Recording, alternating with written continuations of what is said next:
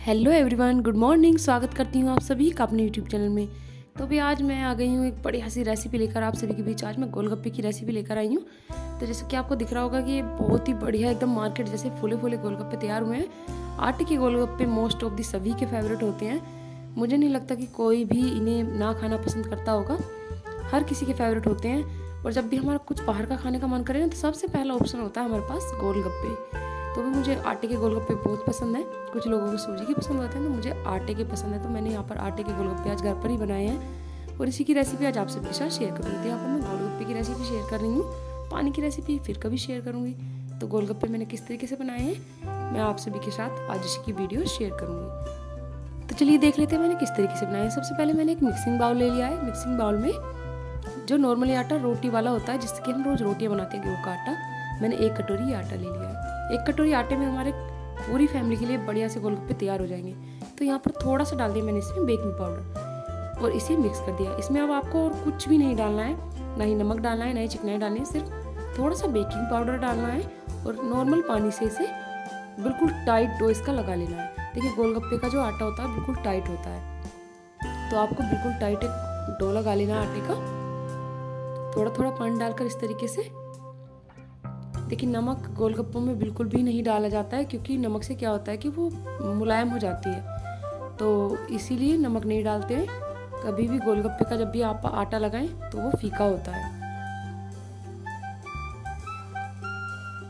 अगर आप नमक डालेंगे तो आपके गोलगप्पे पूरियों के जैसे मुलायम बन जाएँगे। तो ये देखिए, बिल्कुल टाइट आटा मैंने लगा लिया है। अब हम क्या करेंगे, इस आटे को ढककर 15 मिनट के लिए कम से कम रेस्ट के लिए रख देंगे।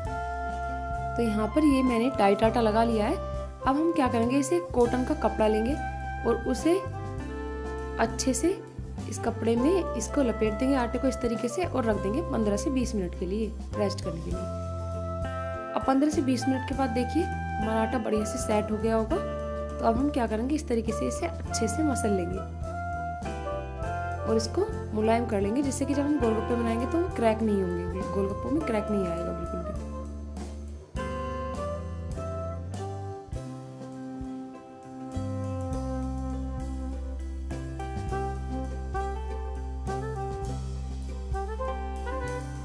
ये आटा मैंने तैयार कर लिया है। अब इसके हम बहुत ही छोटे छोटे से लोइयाँ तोड़ लेंगे। देखिए, आपने गोलगप्पे खाए होंगे, मार्केट के बिल्कुल पतले होते हैं वो। अगर हल्के से भी आपके गोलगप्पे मोटे रह गए तो वो पूरी के जैसे मुलायम हो जाएँगे। तो आपको गोलगप्पे बिल्कुल पतले पतले बनाने तो उसके लिए बिल्कुल छोटी छोटी लोइयाँ तोड़नी है।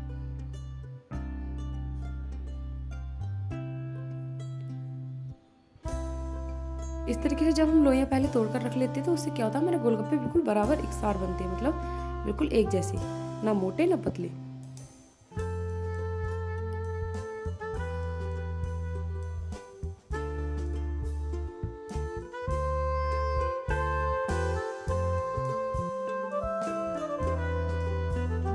तो यहाँ पर मैंने सारी लोइयाँ तोड़ ली हैं। अब हम क्या करेंगे? इनकी बोल्स बना लेंगे।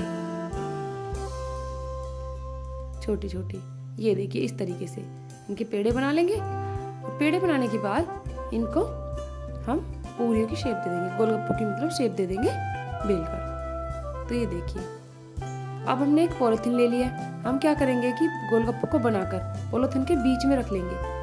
ऊपर भी पॉलिथीन होगी और नीचे भी, जिससे कि ये सूखेंगे नहीं और हम एक साथ सारे गोलगप्पे तलेंगे। तो ये देखिए, आपको क्या करना है, जब गोलगप्पे कभी भी बनाए तो बेलन को बीच में दबाकर नहीं मारना है। अगर आप बीच में दबाकर मारेंगे तो आपके गोलगप्पे फूलेंगे नहीं, वो बीच से बिना फूले रह जाएँगे।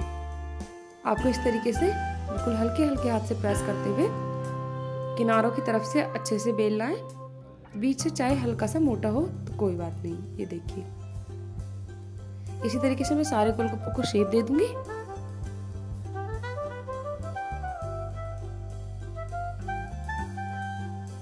देखिए, वैसे तो आटा इसका इतना टाइट होता है कि गोलगप्पे आपके बिना चिकनाई लगाए भी बन जाएँगे। अगर नहीं बन रहे हैं तो हल्की सी चिकनाई लगा लीजिए। अब देखिए, इस तरीके से पन्नी से और कपड़े से कवर कर देना जिससे कि गोलगप्पे बिल्कुल भी सूखे नहीं। अब हम एक फ्राई पैन ले लेंगे और इसमें चढ़ा देंगे सरसों का तेल।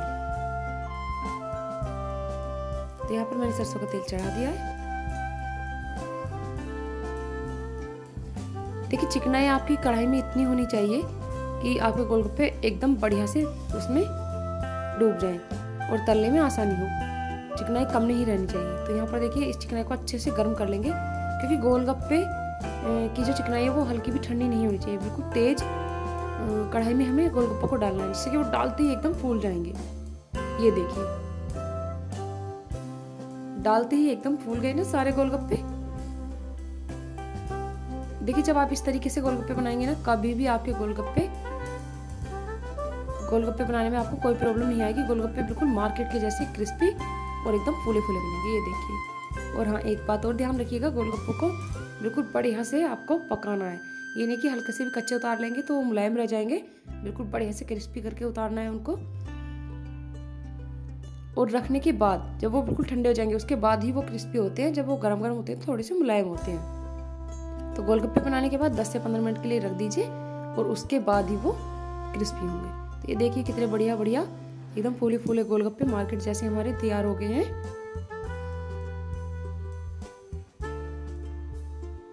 तो इन्हें निकालेंगे हम प्लेट में। ये देखिए। इसी तरीके से मैं सारे गोलगप्पे तैयार कर लूँगी और उसके बाद हम गोलगप्पे सर्व करेंगे।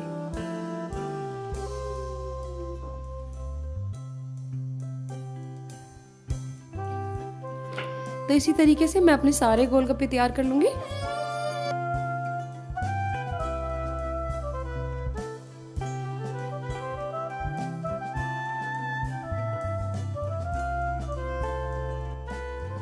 तो ये सारे गोलगप्पे मेरे तैयार हो गए हैं। तो अब हम इन गोलगप्पों को, जब ये बिल्कुल ठंडे हो जाएँगे, उसके बाद सर्व करेंगे।